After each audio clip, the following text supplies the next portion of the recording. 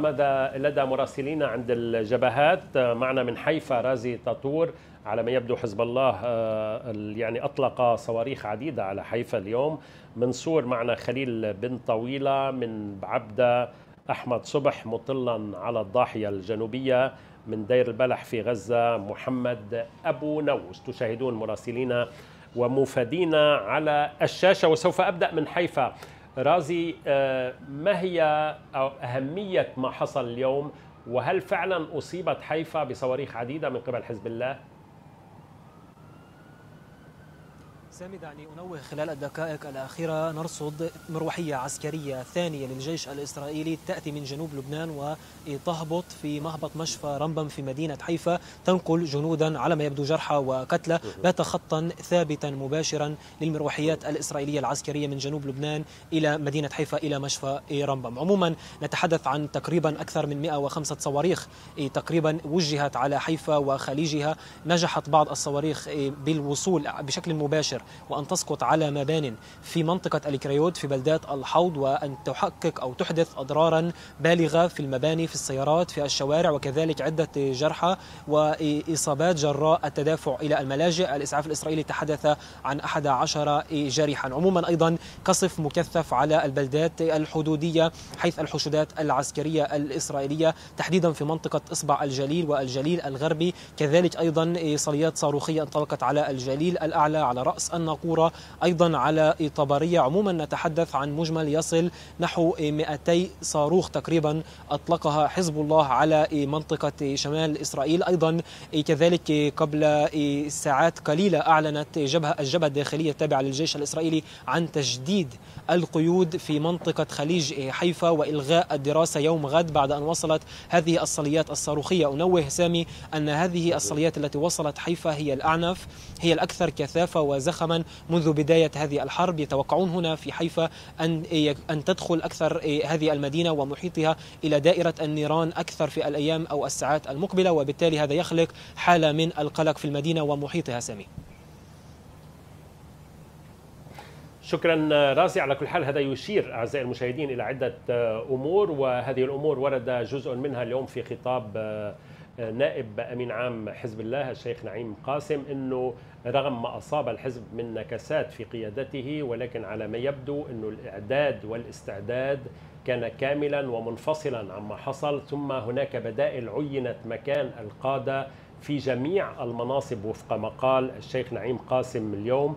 الأمر الثالث أنه نحن في معركة تصاعدية. كل يوم يزيد زخم هذه المعركة ويتوسع إطارها الجغرافي من سور من منطقة الجنوب معنا خليل بن طويلة خليل كيف يبدو المشهد الليلة؟ سامي عطفا على ما كنت تتحدث بشأنه حول خطاب نائب الأمين العام لحزب الله.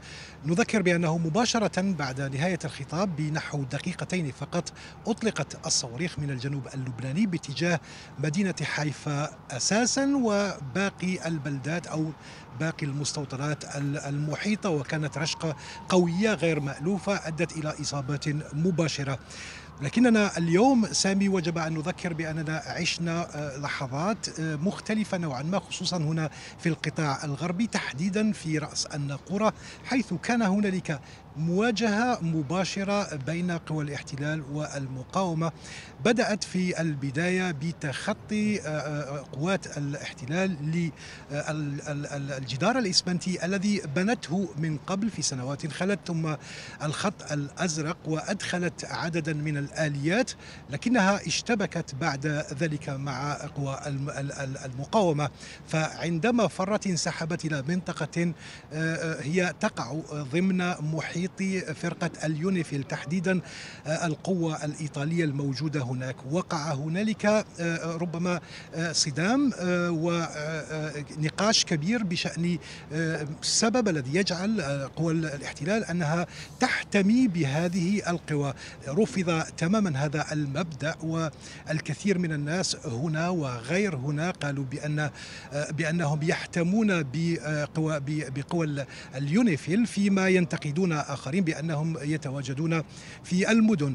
ظل الاشتباك على حاله وكنا نشاهد ذلك من هذا المكان واستمر لفترة طويلة إلى أن انسحب أو انسحبت قوات الاحتلال إلى ما وراء الجدار أو ما وراء الخط الأزرق. قبل ذلك بنحو ساعة أيضا كانت هنالك محاولة للتوغل على المحور المعروف بلبونة عيت الشعب وهناك كسر الاحتلال. أيضا الحاجز الإسمنتي أدخل بعض الآليات ثم انسحب بسبب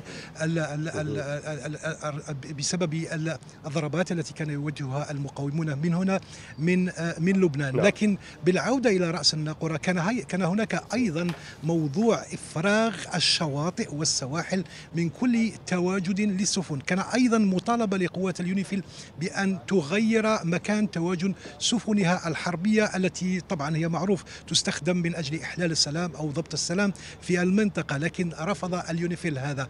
بالنسبة لما قيل بشأن رفع العلم في مارون الراس تأكد بأن ذلك كان لمدة لا تتجاوز العشر دقائق فقط تمكن خلالها مصورو جيش الاحتلال من التقاط صور لهم من أجل غايات دعائية داخلية. هذه على ما يبدو معركة السيلفي يعني حتى الآن فقط يتقدمون ليلتقطوا نعم. آه، صورة في الجنوب. على كل حال سوف نرى تطور هذه الأمور وما أشرت إليه خليل بالنسبة للشاطئ البحري الطلب الانسحاب الابتعاد عن البحر وكأنه تمت شيء سيحدث انطلاقا من الشواطئ البحرية. آه، من بعبدة أحمد صبح كيف آه، أجواء الضاحية من عندك الليلة؟ هل يتجدد القصف كما يحصل كما كل ليلة في مثل هذا الوقت أحمد؟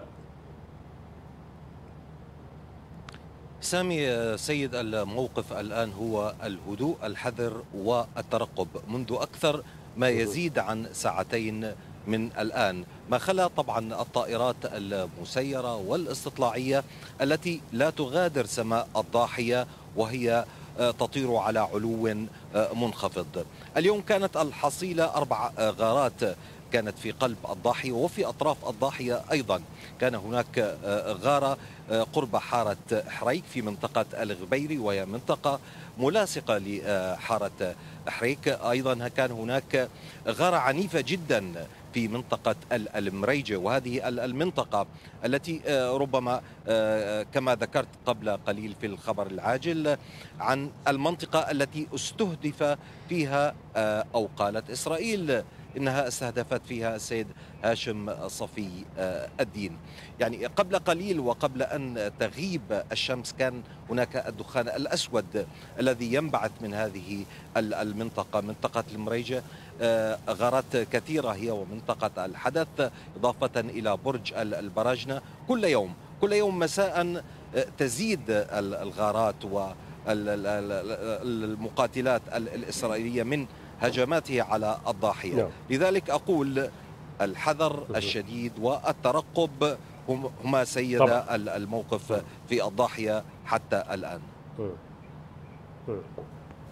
شكرا أحمد ونحن نرحب بك أيضا مندوبا جديدا بين زملائنا آه، إلى هذه الحرب التي نأمل أن تنتهي آه، سريعا. كما يريد لبنان وكما تريد آه، غزة من دير البلح في غزة. أيضا كما قلنا أمس بعد عام من الحصار والتجويع والقصف والدمار والقتل يخرج مقاتلون من تحت الأرض وينفذون هجمات ويطلقون الصواريخ بعد عام من استخدام جيش الاحتلال كل وسائله لإبادة أهل غزة. كيف هي الأجواء اليوم محمد أبو نووس عندكم؟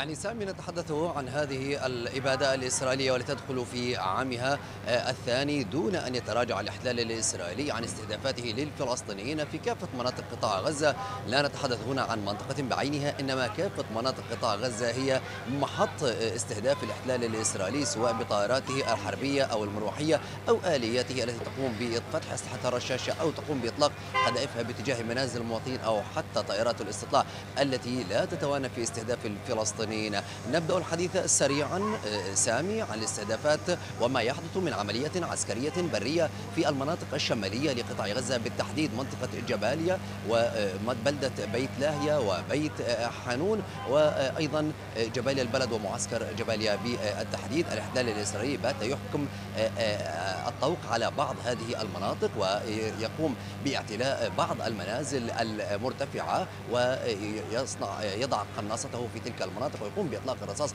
على المواطنين. من هؤلاء المواطنين؟ الذين يقوم الاحتلال الإسرائيلي بإطلاق الرصاص عليهم هم من يجبرهم الاحتلال الإسرائيلي ويدعوهم مرة تلو الأخرى بضرورة النزوح والخروج من منازلهم باتجاه الجنوب عبر ممر أسماه بالإنساني سواء صلاح الدين أو شارع الرشيد في المنطقة الغربية لمدينة غزة أو لقطاع غزة. أثناء عبورهم يقوم الاحتلال الإسرائيلي بإطلاق الرصاص عليهم واستهدافهم وقد سجلت العديد من الحالات سواء اليوم أو أول أمس أو الامس من على هذه الشاكلة. التي يقوم بها الاحتلال الإسرائيلي. هذا بالنسبة لمدينة غزة والتي دارت فيها رحى المواجهات بين المقاومة الفلسطينية والإحتلال الإسرائيلي. في وسط القطاع نتحدث عن أكثر من 34 شهيد حتى هذه اللحظة في استهدافات عدة. استهدفت منازل المواطنين في مخيم البريج وأيضا خيام النازحين في ذات المخيم إضافة إلى مخيم النصيرات المخيم الغربي لوسط قطاع غزة. أما بالنسبة لمدينة خان يونس فخربة العدسي وما تعرف أيضا بمنطقة الزنة وبني سهيلة هذه المناطق التي دعا الاحتلال الإسرائيلي المواطنين بضرورة الخروج منها. أشبعها اليوم بوابل كثيف من القذائف والصواريخ التي قام باستهدافهم فيها بشكل مكثف كما في مدينة رفح. لنتحدث عن عدد كبير من الشهداء في هذا اليوم وعدد كبير من هذه الإصابات. وهنا آه، سامي اسمح لي أن أتحدث في موضوع الإصابات عن ما يحتاج آه، سكان غزة بالتحديد من يصاب منهم أنهم يحتاجون إلى علاجات لم تعد تتوفر في قطاع غزة بل إن هناك مطالبات عدة بضرورة أن يتوفر هذه العلاجات والمستلزمات الطبية التي يفرض الاحتلال الإسرائيلي حصارا شاملا ويطبق حصاره على مثل هذه المساعدات الطبية التي لا يسمح دخولها إلى قطاع غزة. وهنا نشير إلى أن زميلا صحفيا لنا واسمه علي العطار. هذا الزميل آه، الصحفي المصور الذي عمل في عدة مؤسسات خلال آه، هذه الإبادة الإسرائيلية. آه، أول أمس عندما أقدمت الطائرات الحربية الإسرائيلية باستهداف خيام النازحين في مستشفى شهداء الأقصى أصيب علي بشظية صغيرة في رأسه من الناحية اليسرى ولكن هذه الشظية الصغيرة كانت كفيلة بأن تصيبه بكسر في الجمجمة وأيضا نزيفا في دماغه وبات طريح الفراش منذ الإصابة حتى هذه اللحظة وحالته الصحية تزداد سوءا بل إن هذا الازدياد في سوء أوضاعه الصحية بات ينعكس على طبيعة حياته وتقول ويقول الأطباء في قطاع غزة وبالتحديد في مستشفى شهداء الأقصى وأيضا في مستشفى الأوروبي بأن حالات حال حياة عفوا آه، علي مرهونة بعلاجه غير الموجود في قطاع نعم. غزة وهذا الأمر دفع زملاء الصحفيين لضرورة أن يكون نعم. هناك ضغط منهم على المجتمع الدولي على كافة المؤسسات الدولية الحقوقية الإنسانية للتنسيق. لعلي العطار بضرورة سفره خارج قطاع غزة كي يتعالج بأسرع وقت ممكن فحياته هي على المحك وكل لحظة يتأخر فيها علي عن العلاج شكرا. فهذا يعني بأنه يقترب أكثر نعم. لمفارقة الحياة ما يحدث مع علي هو يحدث مع كافة المصابين في قطاع غزة نعم. الذين يمعن الاحتلال الإسرائيلي في استهدافهم على مدار اللحظة نعم